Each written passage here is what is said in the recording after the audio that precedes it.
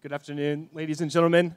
It's nice to see everyone here at the end of the first day. I know it's been kind of long. I'm going to try to keep this concise so that we do have time for questions. I'm really excited to be here. So let's get started. My name is Gray Rinehart, and for the last three years, I've been working with the Bop Htaw Education Empowerment Program.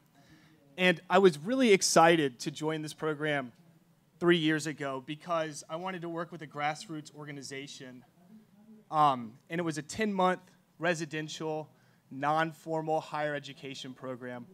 So, as was mentioned by Ms. Lay, it is, it's very unique. Um, I was very excited to teach 20 young adults of the ethnic Mon state in Myanmar who come from rural and remote areas.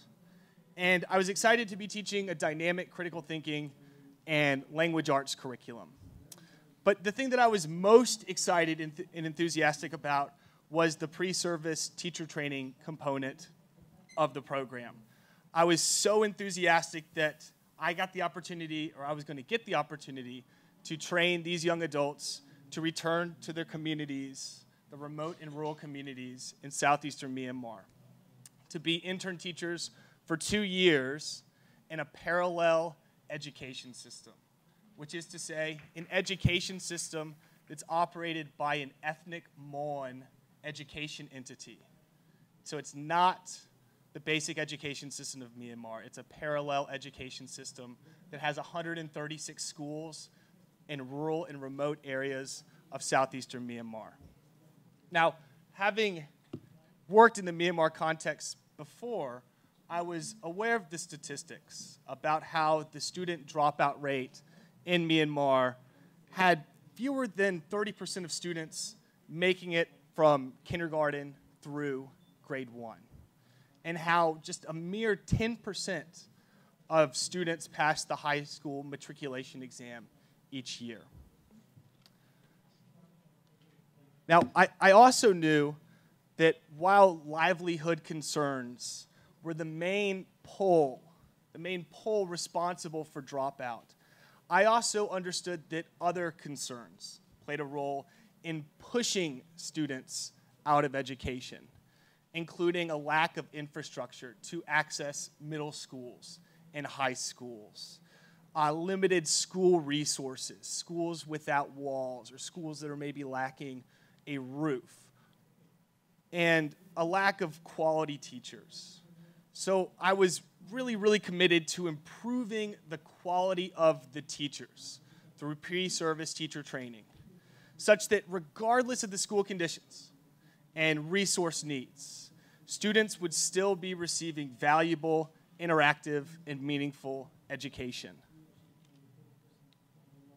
However, those three years ago, I quickly realized that the curriculum of our non formal higher education program was geared more towards critical thinking and English language arts, which is to say that only about 20% of the total curriculum in this 10 month program was for teacher training.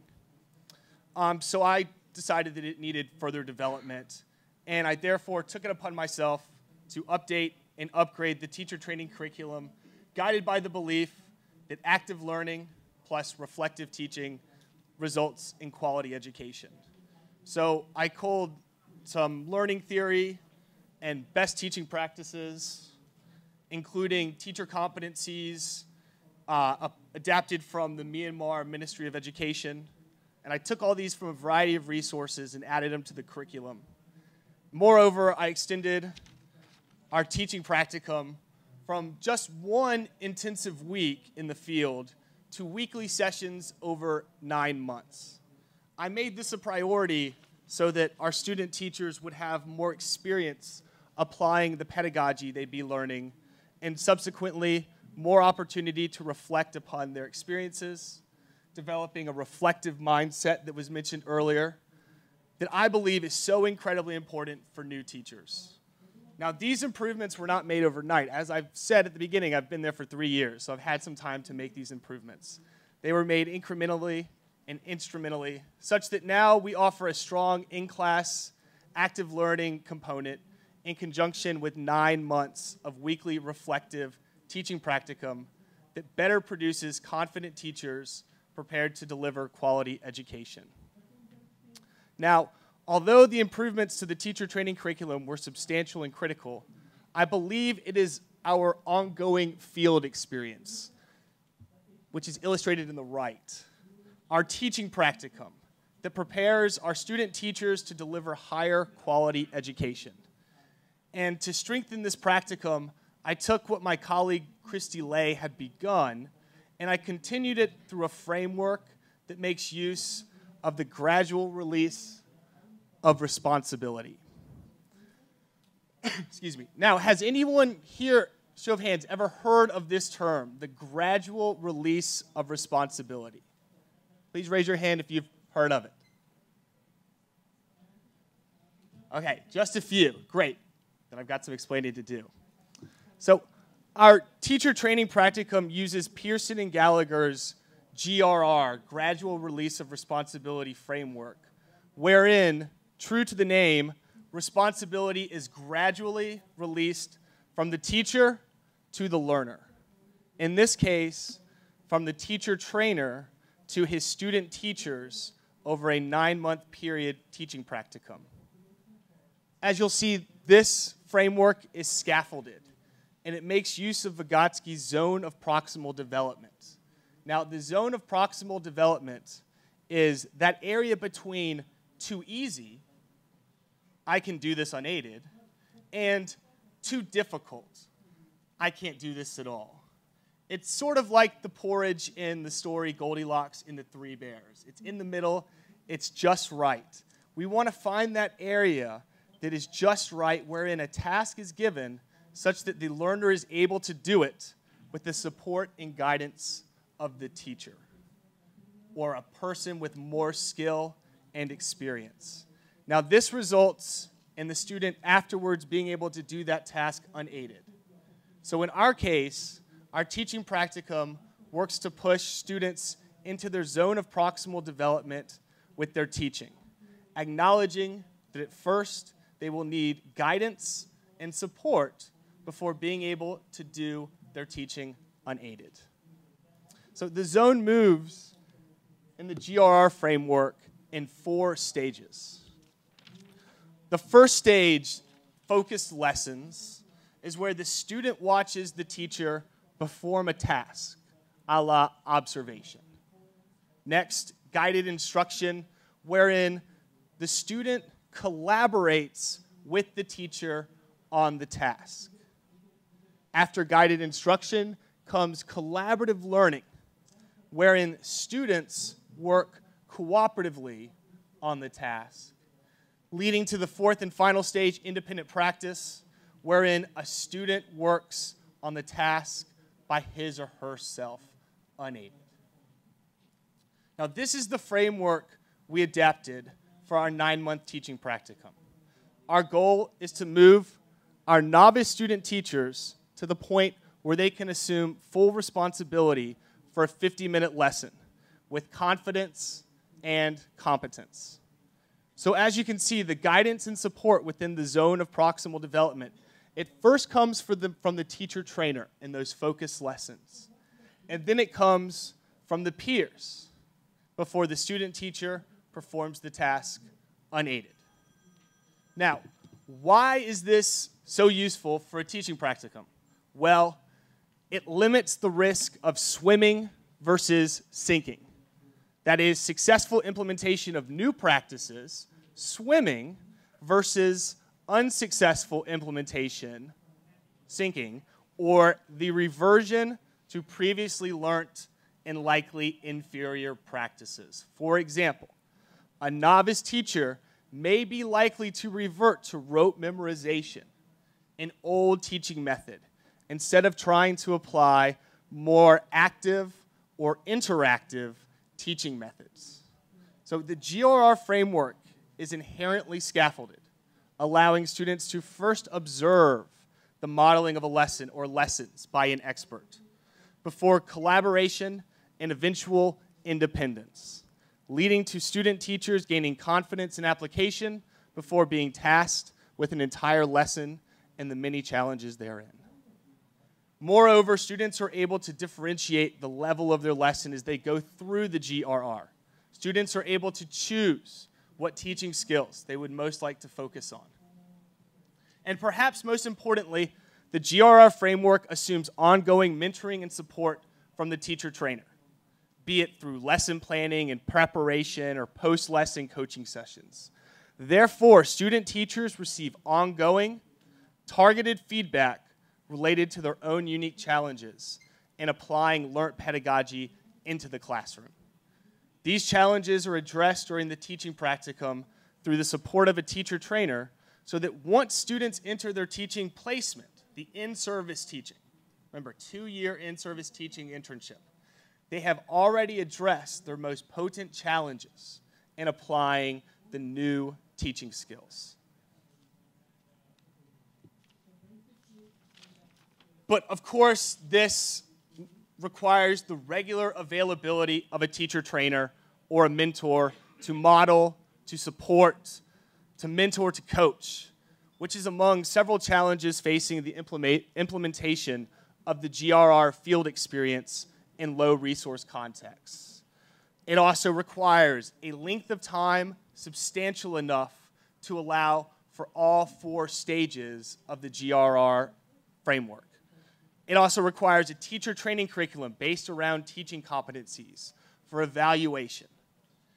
And it requires an available school within which to hold meaningful field experience. Now, when I say meaningful field experience, I mean the conditions within the field experience, the conditions within the teaching practicum, should mimic those the student teachers will find in their service teaching, in their two year internship in our case. Now, it's time for some disclosure. This was hinted at earlier. All of our beneficiaries are in Myanmar. Our student teachers are ethnic Mon. They crossed the border, they're from Myanmar.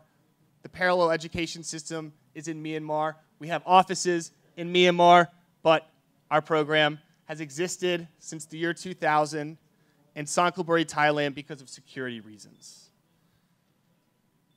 So while it would be ideal to have our field experience based in the actual schools our graduates will be teaching it, in that parallel education system, we do not have that fortune. Instead, since 2012, we've partnered with a local community school in Sangkhlaburi, a school that's just a 10-minute walk from our teacher training facility. Now, this school provides Thai education, grades 1 to 3, to migrant youth from Myanmar. As the majority of our student teachers will be primary level teachers when they go back, the field placement age range, it aligns, as does the lower resource conditions of this community school. However, as this school is with the Thai government curriculum, the only subject our student teachers can regularly teach has been English as a second language, ESL. But it should be noted that English is actually a subject that is taught in Myanmar schools at the primary level. So it's meaningful for our students to be doing field experience in ESL.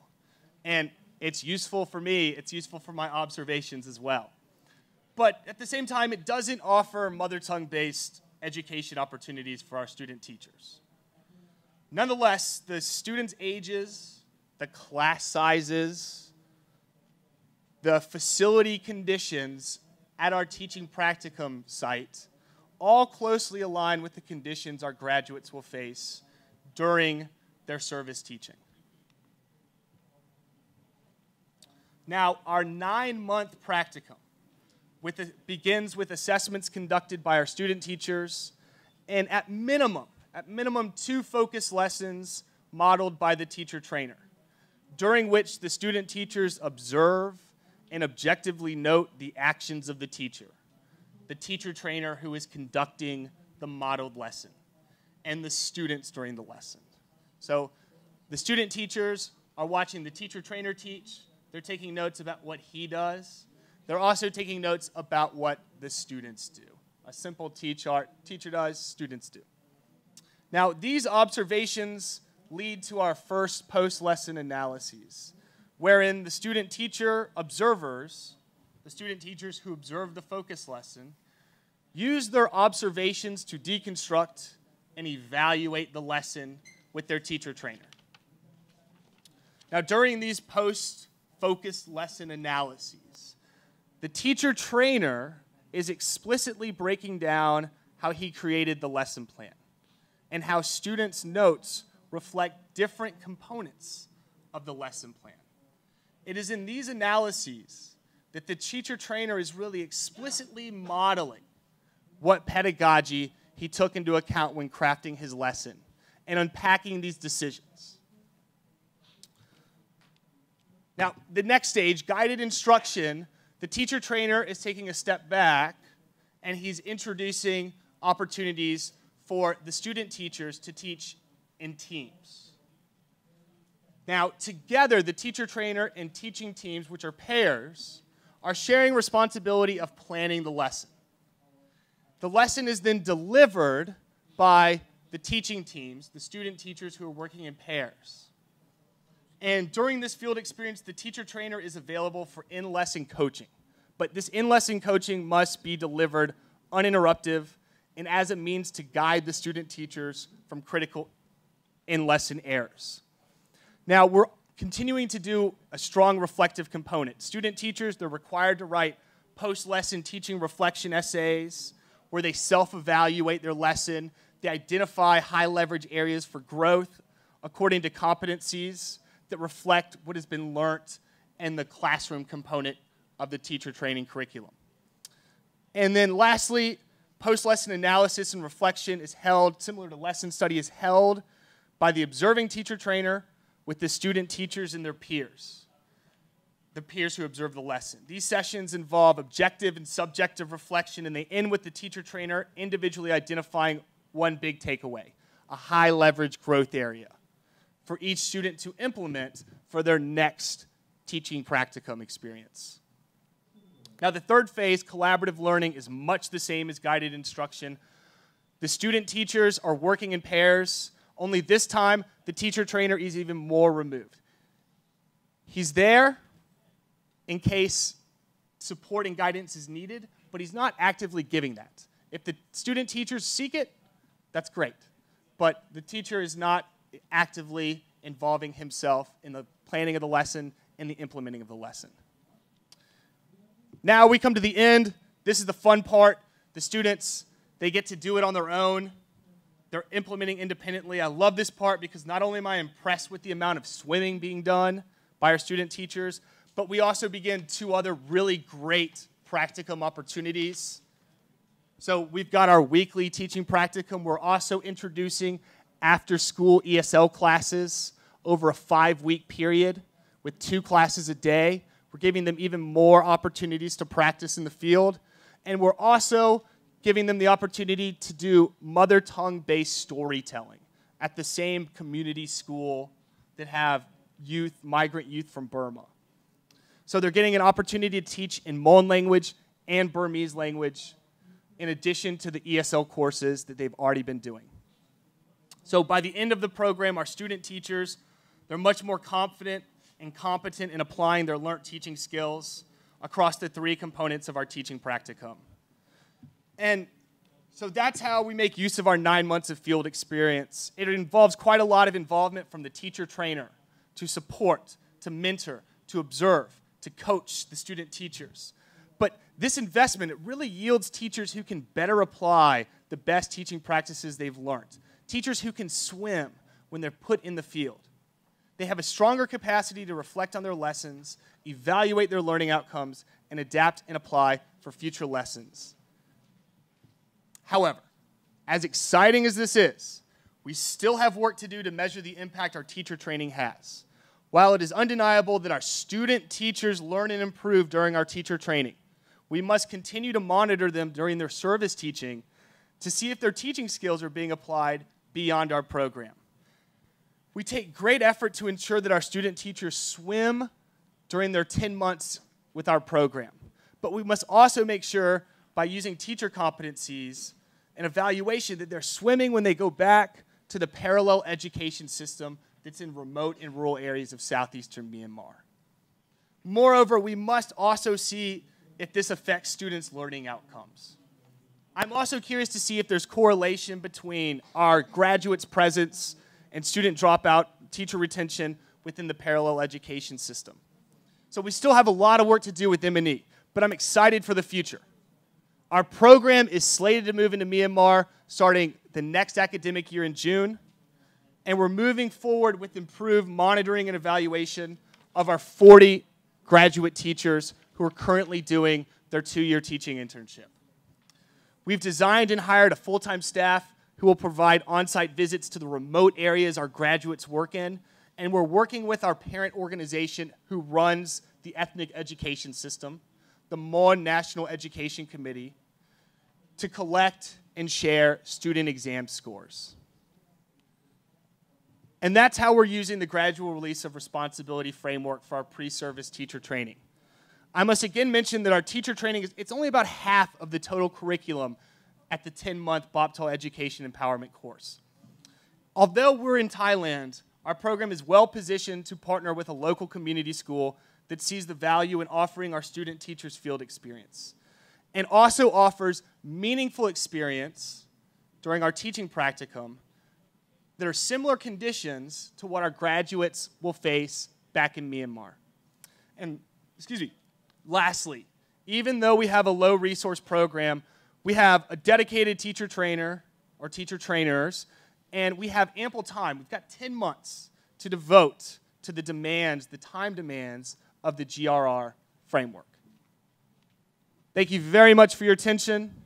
I'm happy to answer any questions you may have.